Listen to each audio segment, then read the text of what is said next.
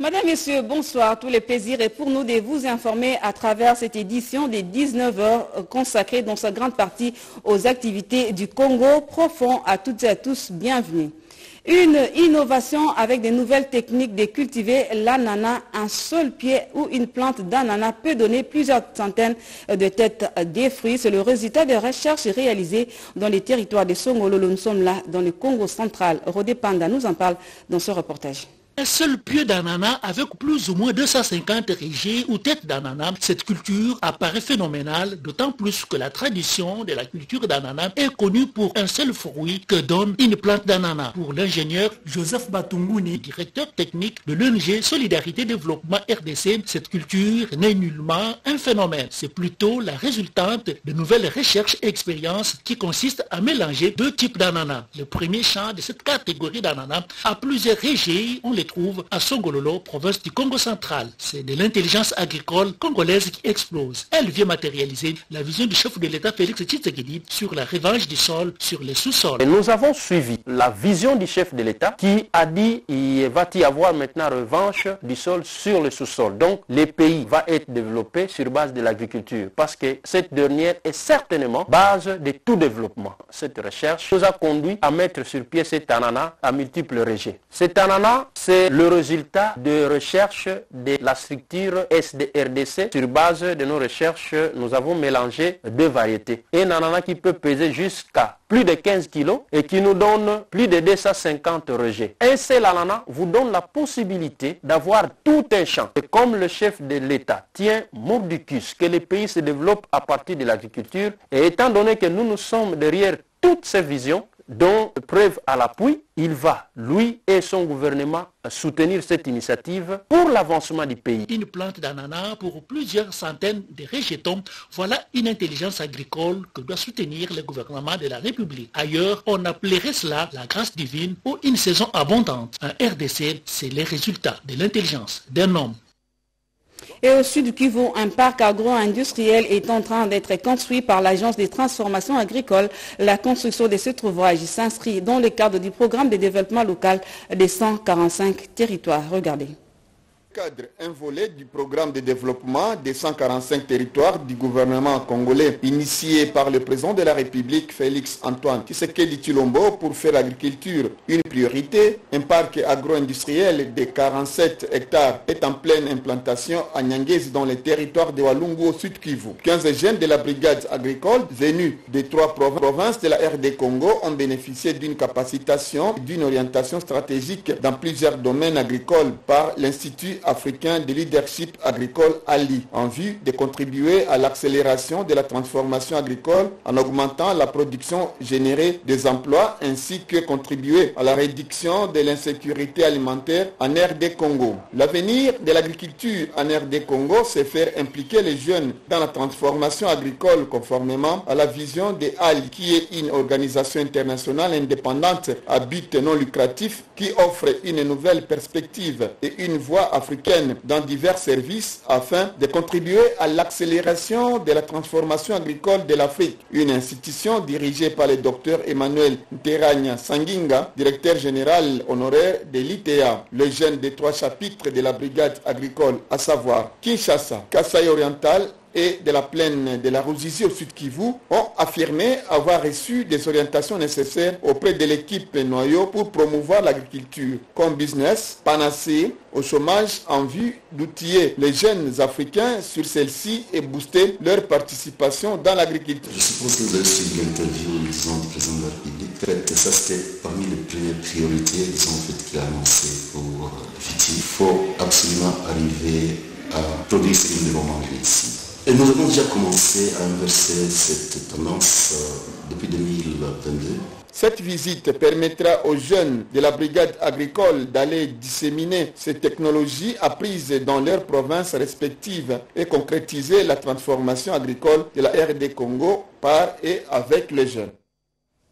Kwango, le commandant de la 11e région militaire a réitéré la demande de soutien au FARDC pour le retour total de la paix dans la province du Kwango. Il a eu une rencontre cette semaine avec les leaders d'opinion de cette province, des échanges fructueux pour arriver à une synergie contre les miliciens Mobondo qui sèment la terreur dans cette partie du territoire national. Regardez.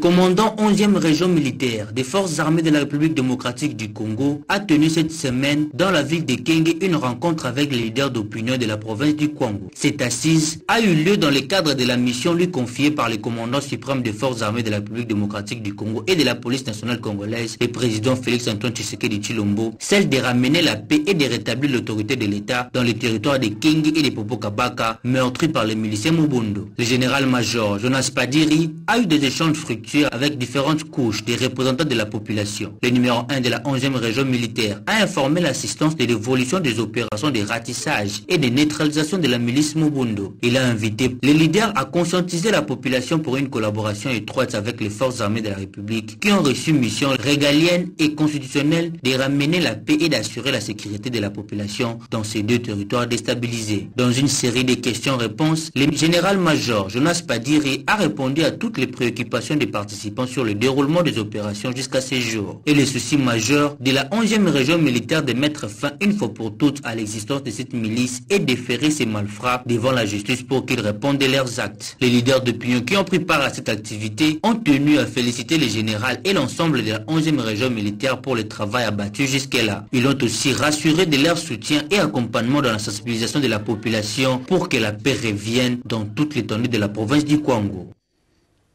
Lutte contre le réchauffement climatique en République démocratique du Congo, un fonds forestier national a été chargé de cette mission. Son directeur général a été reconduit par ordonnance présidentielle. Les défis de son mandat dans ce commentaire de Gaëtan Magalano. Partout dans le monde, les routes sont surchargées de véhicules dont la plupart roulent au diesel ou à l'essence. La pollution atmosphérique causée par l'émission de gaz à effet de serre accentuée par la multitude des entreprises de multinationales à travers le monde. À ces tables sombres, il faut ajouter l'utilisation abusive du bois dans la cuisson et autres travaux ménagers. Pour faire face au dérèglement climatique, la RDC, pays solution grâce à sa forêt, tourbillon et son fleuve Congo, a mis en place un fonds forestier national pour assurer le financement des opérations. Reconduit à son poste, l'administrateur et directeur général est accueilli en pompe par les agents et cadres avant de prononcer ses premiers mots. Je ferai de mon mieux avec le conseil d'administration ainsi que l'ensemble pour continuer premièrement à garder son mot d'ordre le peuple d'abord. D'autres termes, le FFN d'abord. Les agents et cadres en sont conscients et croient fermement à la détermination de ses dirigeants. C'est ici l'occasion pour les personnels du Fonds forestier national vous rassurer de son engagement à accompagner les actions qui seront exécutées par le directeur général nommé par le président Félix Tshisekedi dans les actifs déjà enregistrés par la direction générale du FFN, il faut noter la mise en œuvre de l'initiative 1 milliard d'arbres pour le climat. Suivi et évaluation de tout le processus de la chaîne d'approvisionnement jusqu'à la commercialisation sur les marchés internationaux de l'or certifié, c'est l'objet de la mission d'une délégation congolaise à Abu Dhabi. D'autres détails dans ce reportage de Jean-Richard Kouali. Sous la conduite des délégués, des actionnaires dont Primera Gold DRC SA, à savoir ceux du gouvernement de la RDC et de Primera Gold Limited, les membres du conseil d'administration de cette entreprise du portefeuille de l'État congolais ont visité la raffinerie Auric Hub à Abu Dhabi, capitale des Émirats arabes unis. Cette visite à la raffinerie, où est traité l'or d'exploitation artisanale qu'exporte officiellement Primera Gold DRC SA, consiste pour les administrateurs à assurer le suivi et l'évaluation de tous les processus de la chaîne d'approvisionnement jusqu'à la commercialisation sur le marché international de l'or certifié. Ce traitement de l'or se fera en RDC avec notre propre raffinerie dans les installations de Primera Gold RDC. Mais avant cela, au préalable, nous devons d'abord atteindre une masse critique en termes de quantité pour donner un sens à l'exploitation d'une telle raffinerie en RDC. À partir de la réception des lingots que nous faisons partir de Bukavu jusqu'à la production de l'or pur, de l'or raffiné à une teneur d'environ de 9,995 jusqu'à 999. Nous avons vu leur laboratoire, les méthodes d'analyse, les méthodes de certification, le type d'opération qu'ils font. En activité depuis le début de l'année en cours, Primera Gold DRC SA est une entreprise du portefeuille de l'État congolais dont les activités principales se résument par l'achat, la commercialisation et l'exportation de l'or issu de l'exploitation artisanale. Retour au pays pour vous dire que le fonds de promotion de la santé a été lancé dans la province du Quilou. La cérémonie a été présidée par le vice-gouverneur. D'autres détails dans ce reportage. Lancement officiel du Fonds de promotion pour la santé du Quilou ce mardi 11 juin 2023 à Bandundu dans la salle de réunion du gouvernorat par le vice-gouverneur de province Félicien Kiwaïmouad en présence des forces vives de cette entité. Le Quilou, capitale mondiale de la maladie du sommeil, la tuberculose et la malnutrition infantile en République démocratique du Congo, il était plus que temps de se doter d'un tel instrument. Créé par arrêté provincial du 12 octobre 2021, considérant la politique du gouvernement provincial visant à mettre en place un système de gestion efficace des ressources à mobiliser en faveur de la promotion de la santé, le fonds tire ses ressources des contributions sur les billets de voyage, les ménages, les entreprises étatiques et para-étatiques, les privés, et les parents d'élèves du niveau secondaire et universitaire dans les frais scolaires, tous à chacun selon une nomenclature adaptée à cet effet. Représenté dans les cinq territoires du Koulou par des antennes, outre la ville de Bandundu et celle de Kikwit, le comité de gestion dont à la tête le doctorant Olivier Voula a été présenté au grand public. Après le mot du DG Voula et celui du ministre en charge de la santé au Quilou, a pour but d'œuvrer pour la mobilisation des ressources pouvant permettre le secteur de santé du Pilou d'apporter des solutions aux grands défis qui les minent. Le vice-gouverneur, avant le jeu de questions et réponses, a scellé l'événement. Et lance les activités du Fonds de promotion de la santé dans la province du Pilou, car ce fonds contribue pour le financement de la santé.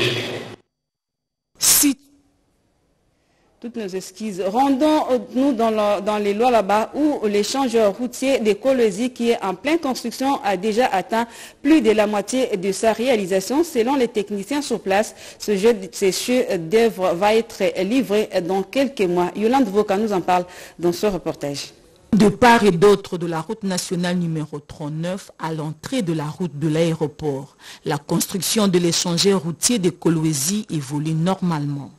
Les quatre culées ainsi que les dépiles sur lesquels la structure métallique d'une part et la structure en béton d'autre part seront posées sont fin prêts. Actuellement, les techniciens procèdent au remblayage avec le latérite afin d'atteindre les niveaux de culée à plus ou moins 8 mètres de longueur. Ces remblais sont encadrés par des structures circulaires formées en béton en vue de renforcer l'aspect esthétique et éviter les débordements de latérite. Les ingénieurs sur place renseignent que l'ouvrage est majoritairement construit en béton pour une durée plus longue ainsi que sa capacité à amortir le choc. La route nationale numéro 39 étant élargie à 15 mètres, interviendra la pose du de la SNCC ainsi que celui du tablier en béton. On peut quantifier les taux d'exécution de cette infrastructure éléphantesque à 50%. Selon les ouvriers rencontrés sur place, ces travaux sont exécutés à bonne vitesse de manière à rendre au gouvernement provincial l'ouvrage complètement fini dans quelques mois. Ça sera un véritable chef-d'œuvre unique en République démocratique du Congo qui va embellir une grande partie de la ville de Kolwezi. À cela s'ajoute sur la liste d'immenses réalisations recommandées par le président Félix Antoine Tshisekedi au gouvernement de Fifi Masuka Saïni. Bientôt, l'électricité sera rétablie à Kisangani. Les pièces endommagées de la centrale hydroélectrique de la Chopo sont déjà arrivées et le gouverneur de cette province a assuré l'acheminement de ces matériels. Reportage. Les pièces maîtresses pour la remise des groupes numéro 3 de la centrale hydroélectrique de la Chopo, partie à Likasi pour réparation, sont déjà à Kisangani. Aussitôt arrivés, maître Madeleine Nikomba Sabangu les a acheminés à la centrale de la Chopo où une équipe est mise en place pour leur déchargement. Il aurait fallu l'intervention du gouvernement provincial que dirige maître Madeleine Nikomba Sabangu pour acheminer ces pièces de Likasi à Kisangani, comme le précise Nathan Chirimwami, Nous avons cette obligation morale de dire merci à son Excellence, Madame le gouverneur de la province de la Chopo, qui, en dépit des difficultés qu'on a au niveau de la province, elle a su débloquer 12 000 dollars. De la semaine prochaine, une équipe d'experts de la SNEL de Kinshasa est attendue à Kisangani pour le débit effectif des travaux, ce pendant 21 jours pour avoir 11 à 12 mégawatts. Pour le chef de l'exécutif Chopoli, c'est un ouf de soulagement pour la population qui a tant souffert. Et Maître Madeleine Nikomba de préciser que le gouvernement provincial a joué sa partition pour la remise du groupe numéro 3. Nous, la province, on a fait notre part. On a aidé au transport de ces matériels et nous allons continuer de suivre de près les travaux euh, afin de soulager la population qui a beaucoup souffert. Ça va faire aujourd'hui plus de deux ans que la population est dans la souffrance euh, suite euh, au manque de courant. Signalons que ces pièces étaient parties pour l'atelier central des pandas de Jekamine à Likassi pour reconditionnement depuis le mois d'août de l'an dernier. C'est demain que le bureau des candidatures, des dépôts des candidatures à la députation nationale vont fermer. Julien Paloukou, ministre de l'Industrie et porte-parole et autorité morale plutôt du regroupement politique AB50 a déposé les candidatures à la députation nationale de quelques membres de son regroupement politique. Eric Kabamba nous en parle dans ce reportage. Ça ne se bouscule toujours pas dans différents centres de bureaux de réception et traitement de candidatures à la députation nationale à quelques jours de la fin. Si l'opposition traîne toujours les pas en réclamant au effort un deuxième audit du fichier électoral, l'Union sacrée de la nation active déjà la machine pour donner un deuxième mandat au président de la République, Félix-Antoine Tshisekedi Chilombo. Les couleurs des différents drapeaux de chaque parti politique de cette grande machine politique flottent presque chaque jour dans les rues et quartiers de chaque province. Au nord Kivu, par exemple, les rues de Boutembo ont de nouveau grondé et vomi du monde pour accueillir avec faste Julien Paluku Kaonga, un des leaders de ces coins. Une mobilisation au-delà de toute attente. Ces hôtes des marques s'est dit flattés de cet accueil impressionnant. Je suis très très émerveillé par une mobilisation spontanée. Je tiens à remercier très sincèrement la population de pour cette marque de confiance à notre développement Alliance Bloc 50 qui est un regroupement au sein de l'Union sacrée de la nation, une union sacrée qui est pilotée par le président Félix Antoine. Ces membres du gouvernement Samalou Kondé, dans sa casquette politique de l'autorité morale de l'AB50, est venu aussi pour déposer les listes de ses candidats au bureau de la CENI. Nous sommes ici pour déposer nos candidatures au-delà de ce que nous avons fait à l'intérieur du territoire national pour nous rassurer que nos 468 candidatures ont été déposées. Dans un autre décor, face à ces lieutenants, le ministre de l'Industrie les a appelés à se mettre déjà en ordre de bataille pour les élections qui approchent en vue d'offrir au président de la République non seulement un deuxième mandat, mais également une majorité au Parlement. Et en Bandaka, le député national Désiré Iwolo a lui aussi déposé sa candidature au cercle paroissial Bakusu. Suivez ce reportage. Démocrate averti, le député national élu de Mbandaka, maître Désiré Iwolo, a voulu, à travers cet exercice, faire participer sa base à l'adoption de sa candidature à la députation nationale. Sans aller par quatre chemins, il a voulu d'abord avoir des assurances si la population a une idée sur les candidats uniques de l'Union sacrée de la nation à la présidentielle. C'était à travers un interrogatoire. تضعين كان ده نسوه الله كان ده نسوه الله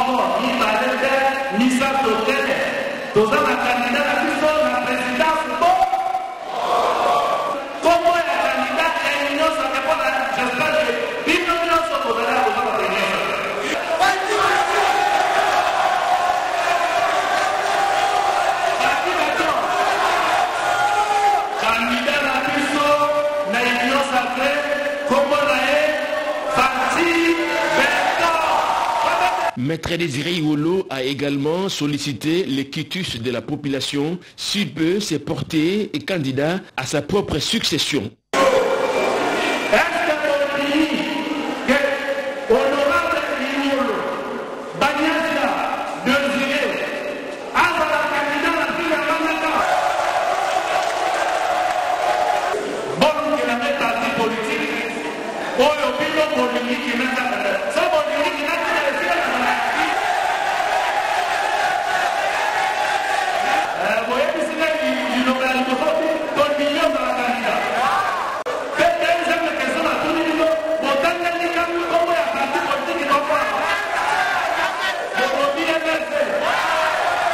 Comme on peut bien les constater, la population a jeté son dévolu sur les mouvements de libération du Congo, parti cher à Jean-Pierre Bemba. Avec cette assurance obtenue auprès de la base, Maître Désiré Iolo peut alors déposer aisément sa candidature à la députation nationale. Insécurité dans le Congo central. Un groupe d'un civique a été arrêté au poste des péages des Lukula. Une enquête a été diligentée par le procureur de la République près le tribunal des grandes instances de Mbanzangungu. Le commentaire est signé David Mobenga. Nous sommes descendus ici aujourd'hui au, au, poste de péage de Kala ici pour essayer de faire une enquête de proximité en ce qui concerne un fait qui s'est passé ici le samedi dernier. Le procureur de la République auprès le tribunal de grande instance de Mbanzangungu, Henri Pami Mayala, a tenu mercredi à Lukala, au Congo central, une réunion avec le comité de sécurité du péage de cette entité afin de s'enquérir d'une situation liée à l'arrestation d'un groupe de personnes qui, dans un état d'ivresse, voulaient à tout prix passer sans payer le droit de l'État. Cette bande venue de Lufu se rendait à Mbanzangungu pour assister à un deuil. Paul Pami Mayala a appelé le comité de sécurité du péage de Lukala à plus de vigilance afin de sécuriser cet endroit qui génère les revenus pour notre pays. Et dans le Quilou, la paroisse Jean-Baptiste Kilembe a célébré dernièrement ses 100 ans d'existence. À cette occasion, plusieurs conférences ont été organisées sur euh, notamment les relations entre missionnaires protestants et catholiques dans le sud d'Idiofa. Un commentaire de Jonathan Mouwele. En marge de la clôture du centenaire de Kilembe, une séance de conférence est organisée dans la salle de réunion de l'Institut Lanquan.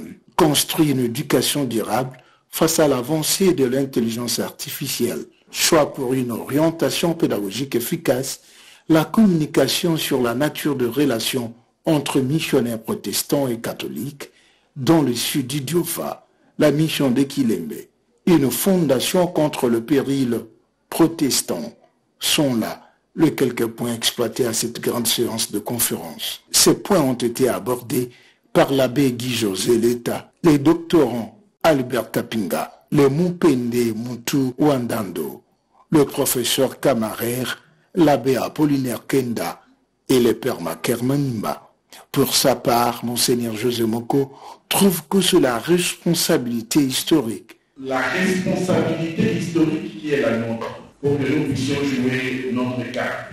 Et je nous invite à, à entrer euh, dans cette fête du centenaire de Kilembe avec tous les bons sentiments que l'Esprit Saint pour que nous puissions vraiment tirer profit de ce centenaire, que le fruit de ce centenaire euh, soit des fruits délicieux, fructueux. Pour le participant au premier centenaire de la paroisse Jean-Baptiste Kilembe.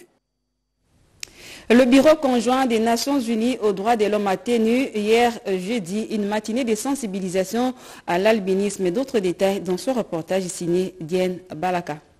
Organisée sous les thèmes inclusion scolaire de l'enfant atteint d'albinisme, cette matinée s'inscrit dans le cadre des activités sur la sensibilisation à l'albinisme pour la promotion et l'inclusion sociale de ces vulnérables. Au nom de la ministre déléguée en charge des personnes vivant avec handicap et autres personnes vulnérables, Franck Kitengefita, directeur du cabinet, a salué cette initiative de la fondation Julio Lévôtre qui vient d'appuyer l'action du gouvernement. Madame la ministre soutient l'inclusion sociale, n'est-ce pas? Et elle travaille euh, d'arrache-pied pour que euh, les personnes vivant avec handicap, mais également les autres vulnérables de la République démocratique du Congo, soient protégés et elle aussi dans la promotion. Ce message était celui-là aussi d'encourager la Fondation Julio Levôtre parce qu'elle travaille dans la sensibilisation, elle travaille aussi dans la promotion euh, de personnes vivant avec albinisme. Le patron de cette fondation, Julio Lévôtre, a circonscrit cette activité tout en sollicitant l'accompagnement du gouvernement et surtout l'implication du ministère en charge des personnes vivant avec handicap et autres personnes vulnérables dans cette lutte. Car il faudrait qu'on sensibilise les écoles, les enfants sur l'albinisme. Et nous demandons aussi au ministre de, de la Justice même celui des droits humains, de veiller à ce que durant le période électorale comme celle-ci, les albinos sont des victimes. Beaucoup prennent des albinos pour des, des sacrifices pour des élections. Veillez à cela. Et il faudra aussi qu'il y ait l'implication du ministère de PVH, APV, dans dans un programme adapté pour l'accompagnement des personnes atteintes d'albinisme. La dite matinée de sensibilisation a été organisée sous les hauts patronages de la coordinatrice de services spécialisés du chef de l'État avec l'accompagnement du Bureau conjoint de Nations Unies pour le droit de l'homme. Cette cérémonie a été sanctionnée par la décoration des ambassadeurs de l'enfant atteint d'albinisme et un appel de fonds pour la prise en charge scolaire des enfants pour l'année 2023-2024. Processus électoral en République démocratique du Congo, un nouveau projet vient d'être lancé pour accompagner la CENI dans la sensibilisation, mobilisation de l'électorat pour un processus électoral démocratique, crédible, apaisé et inclusif et une initiative du réseau d'éducation civique au Congo. Eric Kabamba a signé ce reportage. Devant ces milliers de personnes, un échantillon de sensibilisateurs qui seront déployés sur le terrain pour accompagner ces vastes projets lancés ces jours, dénommés Mobilisation de l'électorat pour un processus électoral démocratique crédible, apaisé et inclusif en RDC, horizon 2023. Cette initiative du réseau d'éducation civique au Congo RESIC, qui durera 16 mois, vise six provinces pilotes, dont Kinshasa, Nord et Sud Kivu, pour cette première phase. Objectif renforcer la confiance de la population envers le processus électoral, a signifié le secrétaire exécutif du RESIC. Il y a trois grands axes. Il y a l'axe sensibilisation, c'est à dire mobilisation de la population.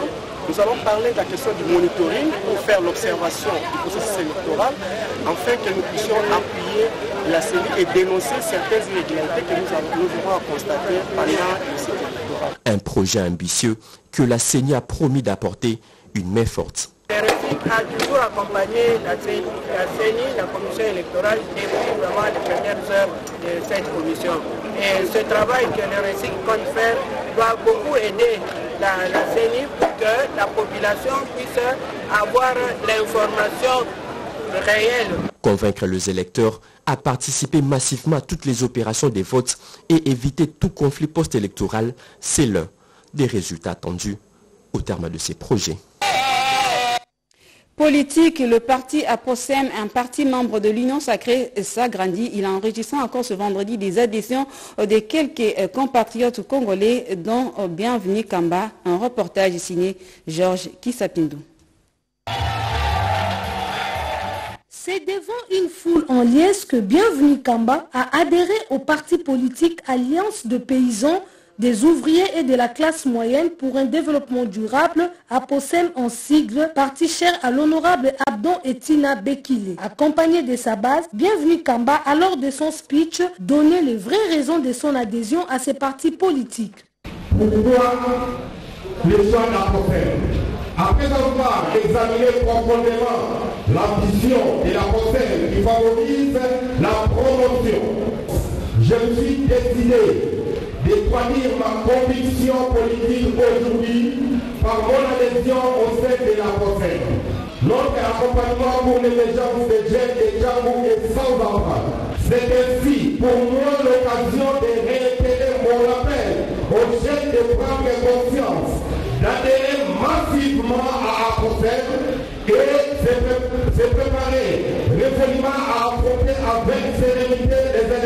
Les autorités politiques, cadres du parti APOSEM ainsi que toute la base de l'adhérent Bienvenue Kamba ont pris part à cette grande matinée politique. Ainsi, le moment le plus fort de cette matinée a été la cérémonie de réception de l'adhésion symbolique du camarade Bienvenu Kamba par le camarade Thomas Bakajika. La vision du parti L'Alliance de paysans des ouvriers et de la classe moyenne pour un développement durable est axée sur la promotion du sens accru du travail en vue d'un développement durable. La cérémonie s'est clôturée dans une ambiance festive. Vous le savez, c'est depuis hier jeudi matin que le ministre honoraire des Transports chérubin Okenge a été lâchement assassiné et ce matin, le président de l'Assemblée nationale a délégué deux membres du bureau au domicile du défunt pour une visite des réconforts, nous dit Sylvie Morimbo dans ce reportage. Le choc est grand et la consternation affecte tout un pays.